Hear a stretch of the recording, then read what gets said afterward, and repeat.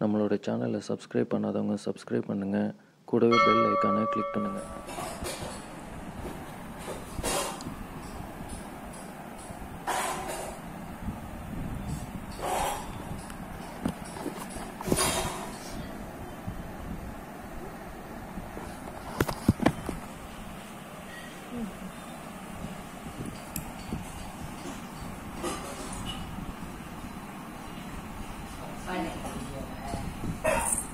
你扫个嘞？